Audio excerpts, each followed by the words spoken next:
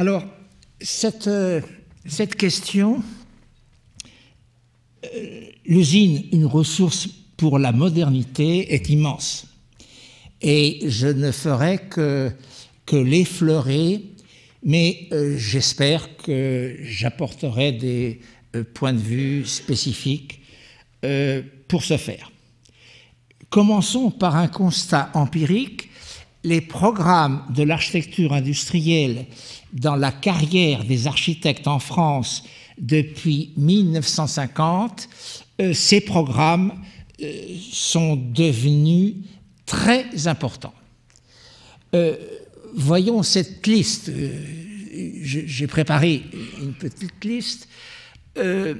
Les, plus grands architectes, les, professionnels les plus importants depuis une soixantaine d'années, ont pratiquement tous euh, travaillé sur le programme de euh, l'usine, de l'établissement industriel. Zerfus en particulier, qui traite avec le programme des usines Renault à Flins, un programme gigantesque, 67 hectares couverts, Pouillon, Andro et Para, euh, Candilis, euh, l'atelier de Montrouge, euh, Rogers est appuyé par Peter Rice, c'est très évident que les architectes les plus importants du demi-siècle écoulé ont traité ce programme. et on peut continuer.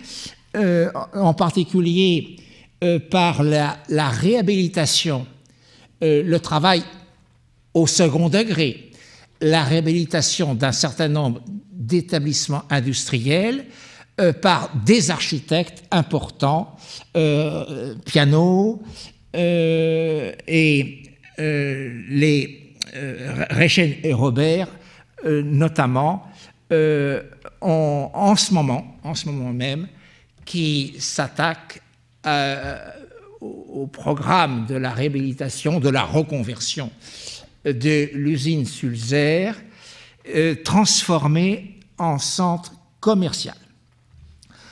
Comment en est-on arrivé là?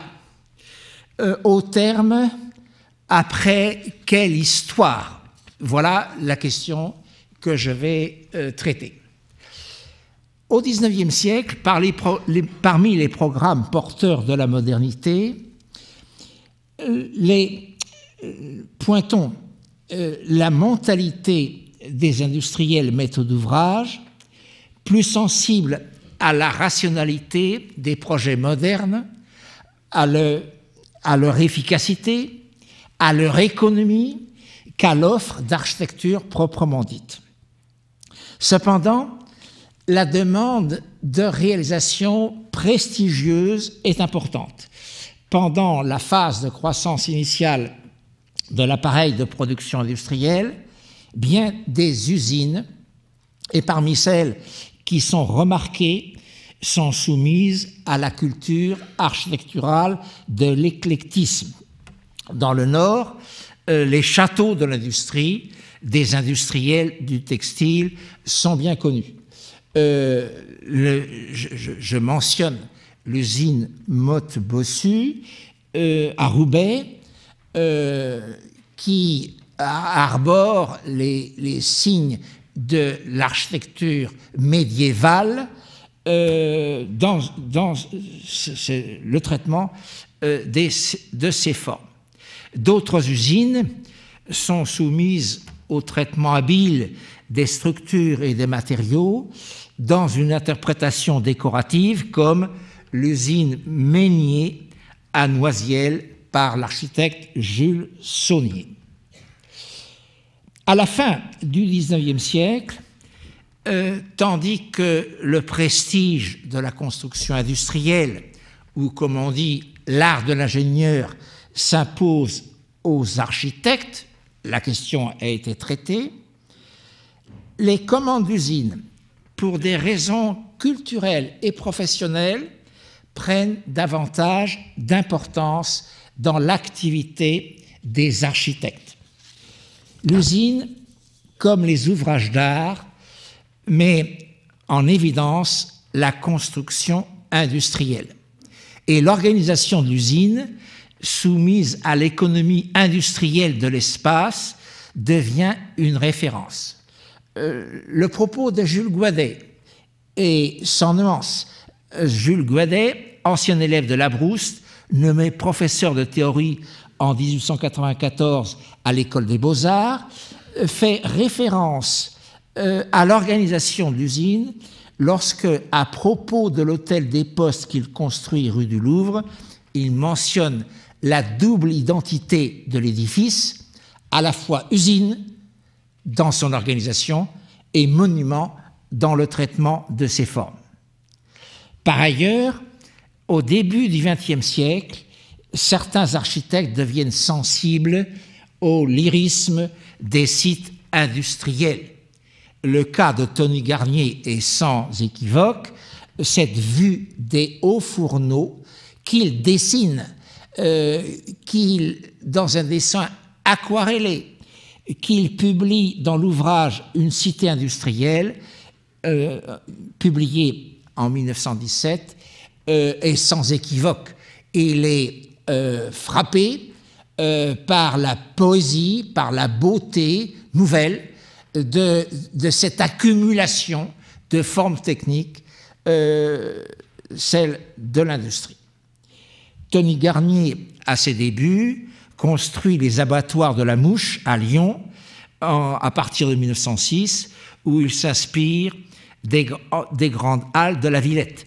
Et il projette en, 1908 une usine de tissage de la soie à Lyon, non réalisée. Mais il installe euh, un chantier naval dans son étude Une cité industrielle, publiée, je, je le redis, en 1917. Cette une ouverture vers l'architecture non pas fonctionnelle, mais instrumentale. Je, je préfère ce terme qui est peut-être plus radical. Au début du XXe siècle, les architectes en Allemagne interprètent les édifices de la grande industrie moderne, de l'industrie mécanique, dans des commandes de prestige. Euh, ces, ces, exemples euh, appartiennent euh, aux images classiques euh, des manuels d'histoire de l'architecture. C'est l'usine de turbines à Eugué, à Berlin, de l'architecte Berens en 1908, et c'est l'usine Fagus à Alfeld à partir de 1911 de Gropius et Meyer. Cette usine, sa modernité saute aux yeux elle annonce le bâtiment que Gropius Meyer, les mêmes, l'usine modèle qu'il propose à l'exposition du Werkbund à Cologne en 1914. Et cette, ce traitement euh, du, euh, du, bâtiment avec ses grands vitrages est posé euh, à travers le traitement de ce bâtiment est posé la question d'un modèle venu d'ailleurs, d'un modèle américain. Et euh, c'est euh, euh, le cas en France, le cas d'une entreprise américaine, United Show Machinery, qui a grandi une usine, la manufacture des œillets à Ivry, en 1913, sur le modèle de la Daylight Factory, c'est-à-dire l'usine euh, l'usine lumineuse euh, par la dimension des vitrages qui éclairent le travail dans les, ateliers. Alors, l'usine des œillets à Ivry est un rare exemple d'un bâtiment américain euh, entre 1913 et 1924, mais pas, pas, par un, pas par un architecte américain, mais par Paul C., ingénieur français. Le bâtiment s'apparente à l'usine mère de la firme à Beverly, aux États-Unis, construite en 1902, et à sa filiale canadienne, construite à Montréal en 1911. Le projet à Ivry est étudié par l'ingénieur Paul C. et son extension intervient en 1924.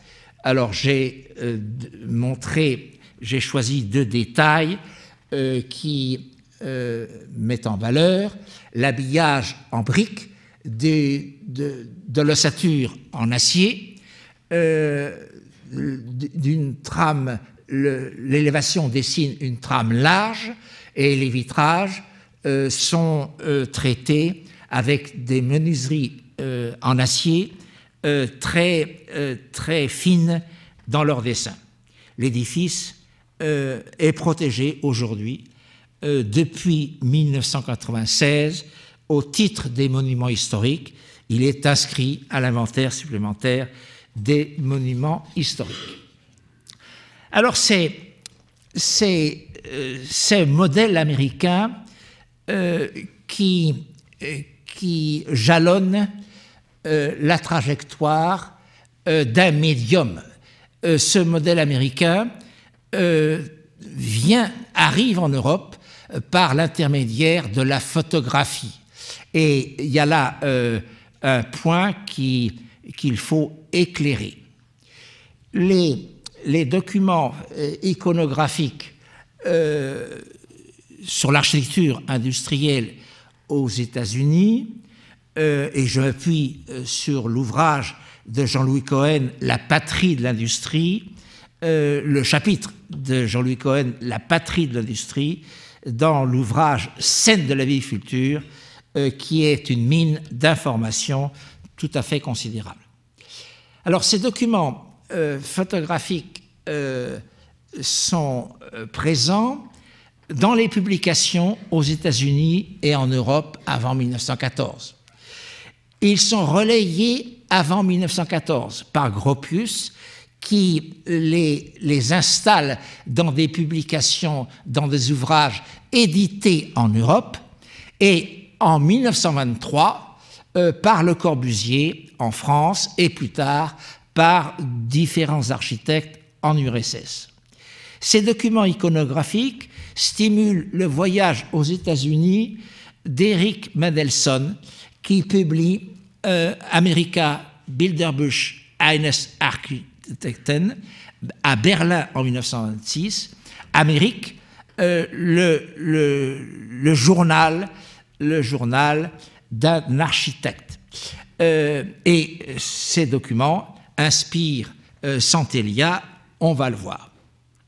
Alors, c'est intéressant que l'observation à faire, c'est dans des revues professionnelles.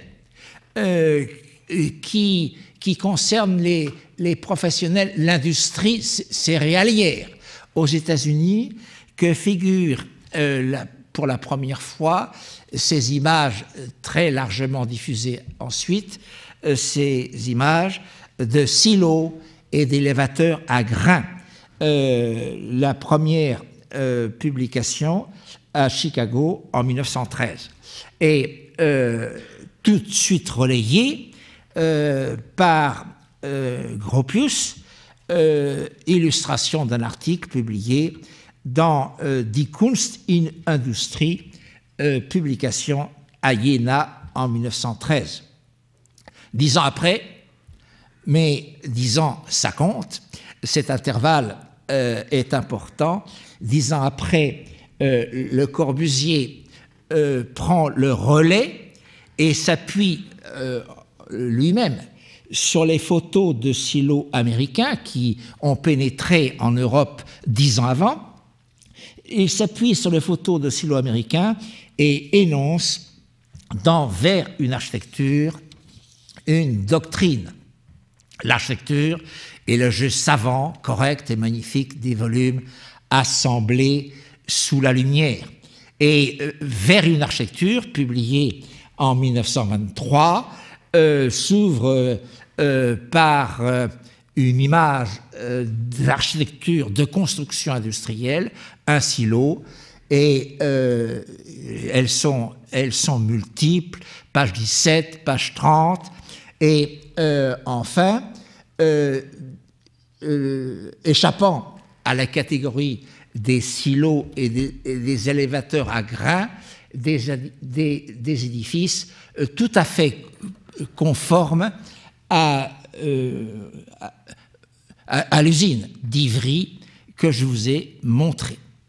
Le phénomène est international et euh, il s'étend à l'Allemagne en 1927.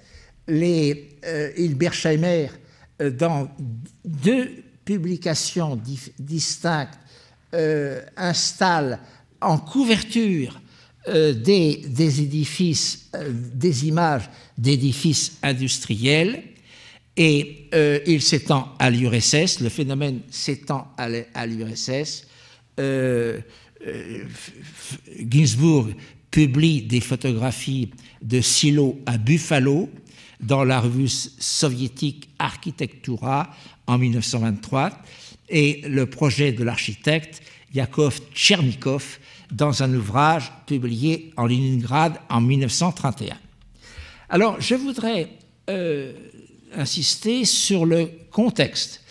du côté des photographes, il y a à ce moment-là, dans les années 20, un véritable enthousiasme pour la photographie des, usines, des établissements industriels.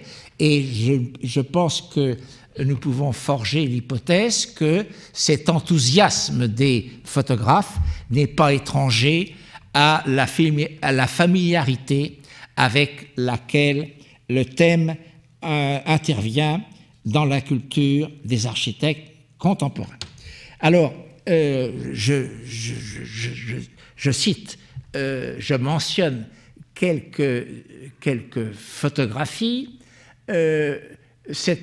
Le photographe est anonyme dans une maison, un palais, publié par Le Corbusier en 1928, mais il est clair qu'il a choisi cette image pour son, intensité euh, graphique. Euh, et euh, c'est dans le même sens qu'un des principaux photographes allemands de la période. Renzer Patch photographie à satiété des établissements industriels à Lübeck, Léo Fourneau, en 1927, un établissement euh, une mine à Essen en 1929. Et euh, les photographes américains euh, ne sont pas en reste. Charles Schiller, qui est un photographe et un peintre, il, il, accumule une documentation par la photographie et il, interprète dans des tableaux. voilà. Les, usines Ford euh, à River Rouge, Michigan, sont interprétés euh, par Charles Schiller en 1927, et à droite euh, par Walker Evans, en haut à droite, 20 ans après. Et après, après 20 ans, ce photographe célèbre, Evans, utilise le même point de vue que son prédécesseur Charles Schiller. Et euh, en bas, euh, j'évoque, euh, je mentionne un photomontage Schiller en 1932 pour le panneau central d'un triptyque. vous voyez à travers ces exemples l'intensité du regard des photographes parmi les plus grands. je prends un exemple d'interprétation photographique du projet à l'édition. il s'agit de l'usine Van Nelle, euh, construite à Rotterdam en 1927, et euh, voici le projet des architectes, euh, traitement graphique, et voici comme, comment la voit Hitchcock et Johnson dans leur ouvrage Le style international en 1932. Voici une vue nocturne d'un photographe anonyme en Catalogne, à Barcelone, euh, la couverture, le même bâtiment, la même photographie euh, occupe la partie la plus importante de la couverture de la revue AC dans le numéro 1 euh, de 1931. Et un photographe néerlandais, les Kaman, interprète à son tour cet édifice euh, qui, qui, est publié, ces photographies, euh, les photographies de Kaman sont publiées dans un livre de Molinayu, Baos von Material sous architecture, publié dans la collection des livres de Baos en 1929. Et euh, euh, vous apercevez à droite euh, l'usage, euh, le photomontage de Kaman qui utilise encore, encore une fois, les prises de vue devant l'usine Van Nelle. Alors, il est temps de s'interroger sur les conséquences dans les projets des architectes après cette mise en scène de euh, l'importance iconographique euh, qui baigne euh, la culture architecturale moderne d'avant-garde dans les années des années 10 aux années 30, il, il s'agit après cela d'évoquer les conséquences de cette culture industrielle dans les projets des architectes. Il faut distinguer des modes opératoires distincts, le bâtiment de l'usine comme source de dispositifs, de figures architecturales, de références formelles. Euh, c'est le, cas euh, des dessins de Santelia, c'est le cas pour une, des premières constructions de Le Corbusier à Paris, l'atelier aux enfants, euh, construit en 1923. Euh, cet atelier euh, largement vitré, au sommet de l'édifice, est coiffé de sheds empruntés à la silhouette de l'usine. C'est évident. Et il y, a, dans les dessins les, les, les, euh, apparaissent euh, dans l'élévation en haut à gauche. Mais il y a un autre point de vue. L'usine comme modèle d'organisation fonctionnelle moderne, l'usine dans ces conditions s'impose aux architectes. Euh, on connaît l'admiration de Le Corbusier devant les usines Fiat à Turin, achevées en 1922. Euh, il y a là euh, euh, une synthèse de l'espace mécanique pour et par l'automobile qui, qui, son apogée avec cette piste d'essai euh, construite sur le toit de l'usine. Euh, Adolphe Meyer, euh, dans son usine à gaz à Francfort sur le Main en 1928, et dans une usine projetée dans le projet de l'usine électrique construite à construire à Francfort sur le Main,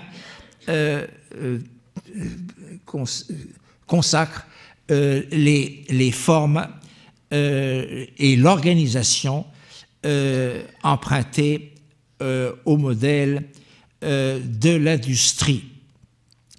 Mais il y a cette, cette, adhésion au modèle de, l'industrie par les architectes ne va pas sans compromis.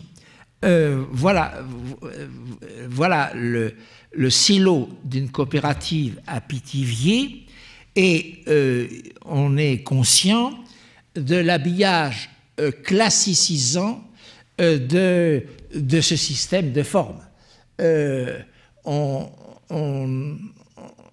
assiste à un compromis entre la culture académique et la culture des formes industrielles et euh, ceci sera euh, assez fréquent, euh, notamment dans ce très grand silo à grains construit sur le port de Marseille en 1926, qui, qui je pense, a été vu, observé et étudié par Le Corbusier. 20 ans avant l'unité d'habitation euh, qu'il construit à Marseille, le silo à grains euh, sur le port, construit sur le port, exhibe des pilotis massifs euh, au-dessus du vide au niveau du sol, et il y a là une, source d'inspiration tout à fait vraisemblable. Mais le destin de cet édifice est euh, contrasté, euh, édifice gigantesque euh, qui est conservé et qui va entrer en service dans quelques jours comme salle de spectacle. Je, je, vous présente les photos de, de Marc Heller, qui a été longtemps le photographe de l'inventaire de, de, de, la PACA, euh, qui, euh, avant cette transformation, euh, qui relate l'importance de l'édifice. Et j'insiste sur, sur cet édifice, sur ces pilotis, car il y a très, très vraisemblablement une source possible pour Le Corbusier. D'autres architectes euh, organise euh, la réponse à des programmes industriels avec euh, un sens de la forme, notamment, c'est le cas notamment d'Alto dans cette imprimerie industrielle construite en Finlande en 1930. Et bien entendu, euh, ça sera le cas de Le Corbusier dans euh, la, reconstruction de l'usine Claude et Duval à Saint-Dié dans euh, les années 47-50.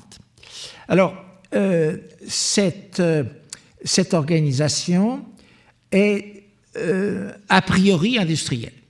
Les, les matières d'œuvre euh, sont conduites euh, par des monts-charges au sommet de l'édifice et elles, redescendent euh, travaillées, traitées, transformées par la, la main-d'œuvre qui travaille dans les ateliers au-dessous.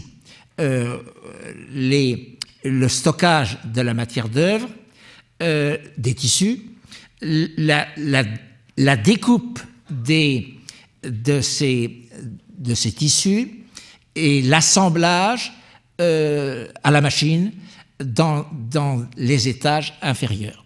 Et il y a là une, discipline industrielle euh, qui est interprétée euh, par le Corbusier, dont on n'a pas la, traduction, bien entendu, dans l'élévation mais euh, il faut la restituer. Euh, voilà. Euh, les, les, ballots de tissu en, attente au, au, niveau du sol sous les pilotis, en attente d'être hissés par les monts de charge et l'atelier de confection textile au-dessous. C'est un programme tout à fait ambigu que l'offre d'architecture est, une offre ambiguë à propos de l'usine André Blondel à Bolène. C'est sur le Rhône. Euh, l'usine hydroélectrique euh, travaille à la production euh, de courant électrique. Elle est accompagnée d'une écluse. Et je voudrais insister sur ce chantier très important, caractéristique de, de l'optimisme de l'époque. et je voudrais insister sur la, métamorphose du programme industriel, de l'outil industriel, de l'instrument industriel comme espace et comme construction, cette métamorphose par le, souci, par une offre architecturale qui euh, acclimate l'instrument à des fins monumentales. Alors, euh, euh, cet édifice, euh, qui barre le Rhône, bien entendu, se présente sous l'apparence d'un volume aux élévations ordonnées. On, on, évoque le travail de Théo Sarnal dans la reconstruction du Havre, dans l'équipe de Perret.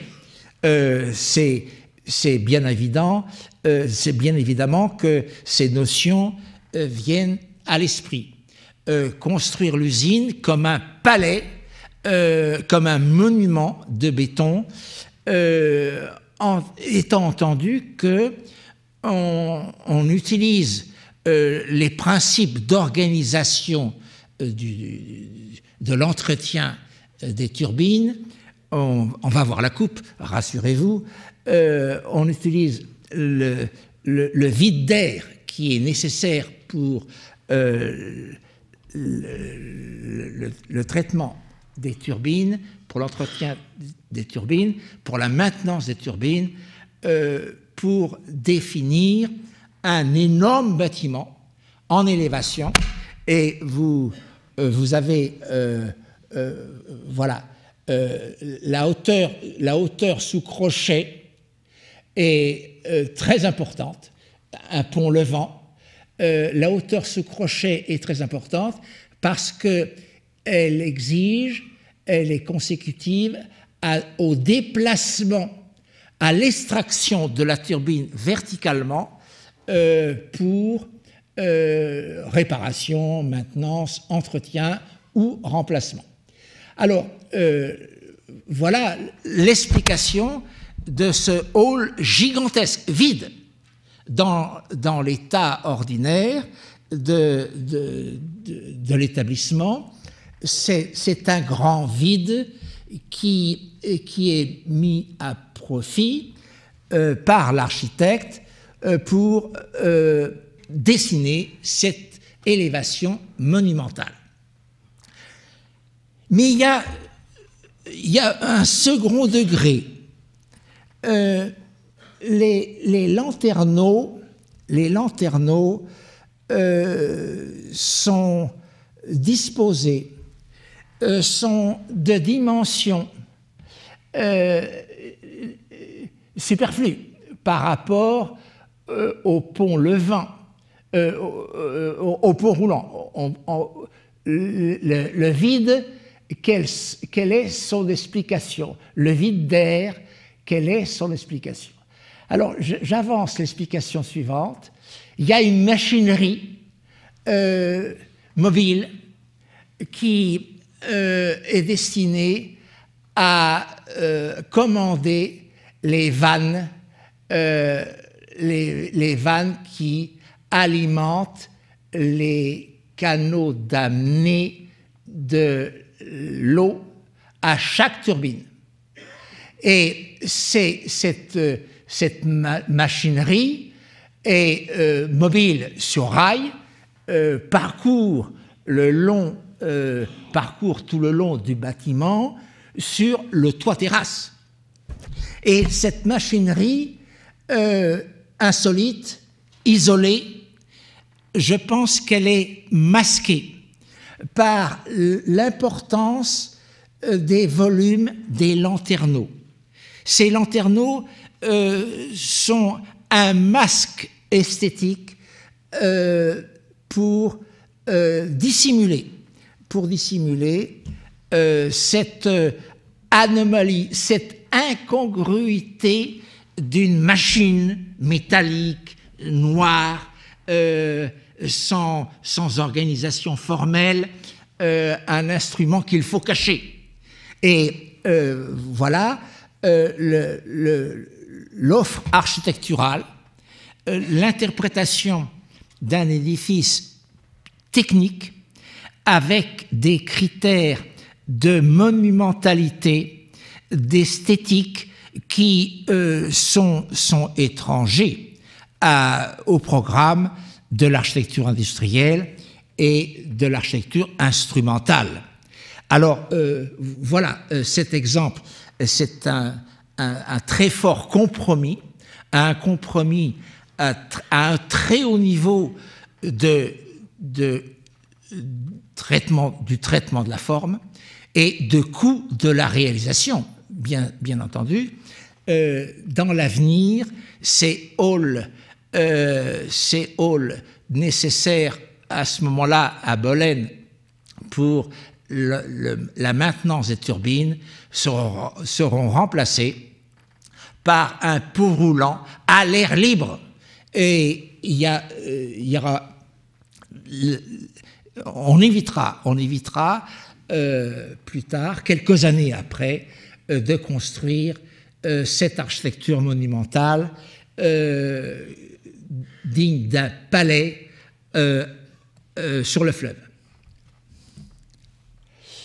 Alors, c'est le cas, euh, c'est le cas euh, de l'intervention de Perret à Saclay pour le CEA. C'est une opération gigantesque. Euh, Perret, euh, a récolté les, une gloire personnelle, une, une gloire euh, d'architectes après l'opération de la reconstruction du Havre euh, accède à cette commande gigantesque et euh, traite de l'architecture industrielle. Et il, il, énumère, il décline dans, dans, différentes, différents systèmes de formes monumentales pour les bâtiments de l'administration, euh, instrumentale euh, pour euh, les, bâtiments, techniques, mais avec une touche de monument, de traitement monumental. Et l'essentiel, c'est des bâtiments d'architecture instrumentale très sobres, construits avec des modélatures de, béton euh, très apparentes. Alors, je, vous, ai, euh, je vous ai montré euh, quelques, quelques-unes des interprétations des, de l'architecture de l'industrie par les architectes. Je, je, voudrais noter, pour terminer, que dans les dernières années, les, architectes ont adapté l'espace industriel avec sobriété à des fonctions, à des équipements culturels. Euh, non sans controverse. Euh, certains critiques se sont élevés contre euh, cette, ce glissement d'édifices publics à fonction culturelle vers l'architecture, vers la référence de l'architecture instrumentale. C'est le cas du musée d'art moderne à Saint-Étienne, construit à partir de 1985 par M. Guichard, l'architecte Guichard, spécialiste des, entrepôts frigorifiques, qui, qui a été très critiqué pour le caractère rudimentaire de ces, des espaces des, de, de, ce musée. Et c'est l'école, c'est le cas de l'école d'art décoratif euh, à Limoges, établissement d'enseignement, de formation, euh, qui euh, a été projeté euh, par Gépel et Michelin. Et il y a là euh, euh, l'application sans détour de, des types industriels, des types des espaces industriels à des fonctions euh, culturelles, à des fonctions euh, d'équipement culturel, et ce n'a pas été euh, sans quelques grincements de dents de la critique. Je vous remercie pour votre attention.